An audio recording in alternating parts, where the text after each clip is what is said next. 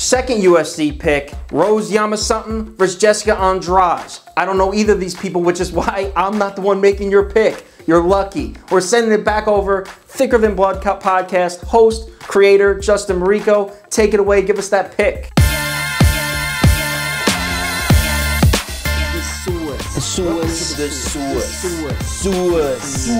What's up, everyone? Justin is back, guest starring on Kyle Kirms' YouTube channel. I am from Thicker Than Blood podcast. I do my series Combat Chat. We're gonna make a couple UFC 251 picks.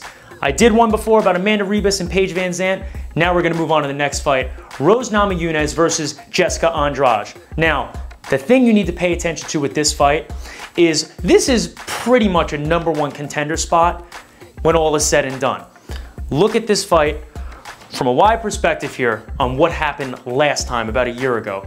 Jessica Andrade fought Rose Namajunas for the strawweight belt on my birthday last year. Well, I went out for my birthday on it. But it was very interesting because if you watch that fight again, Rose looked unstoppable. She stayed on the outside, stayed away, fought Jessica Andrade the same way that Joanna did. Joanna Jędrzejczyk, I don't know how to say her name, it's something like that, the strawweight queen busted up Jessica Andrade, but she kept on coming forward. Won the decision on points, very impressive. Rose Namajunas was doing the same thing, completely busting up Jessica Andrade on the feet. Very impressive performance until she made one tiny mistake, held a submission a little too long. Jessica Andrade picks her up, slams her on her head, gets the knockout. It was unbelievable to see that happen because if you were watching the fight, it was clear that Rose was winning and was the better fighter. Made one mistake and it resulted in a TKO loss. So now moving into this, after that fight happened, we didn't know if we were gonna see Rose ever again. Now, supposedly, she's back in mentally, she's ready to go against Jessica Andrade, ready to get that win back. In this whole grand scheme of things, whoever wins this fight should be the number one contender to take on Weili Zhang, who just had the fight of the year against Joanna Jędrzejczyk. So, Rose, Jessica, my pick, 100% it's gotta go to Rose. I've been watching the background scenes on uh, UFC Embedded and the countdown and all these training videos, you gotta look at the way this girl strikes. It is so good. And I said in a video before, and I'll say it again, you can't look at someone's record. Because if you look again at the main event of this whole thing, Usman versus Masvidal, someone looks at Masvidal's record, you're gonna say, oh man, this guy's got 13 fucking losses. How, Why is he getting a title shot? That's not what matters. What matters is the fighter is only as good as the last fight they had.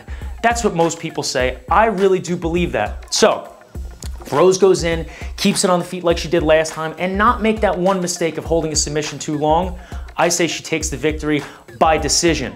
This is only a three round fight, not five rounds. Kind of wish it was five rounds. Either way, Rose wins this by decision. That is my pick on this. Jessica Andrade got knocked out in her last fight in the first round against Weili Zhang, who won the belt from her.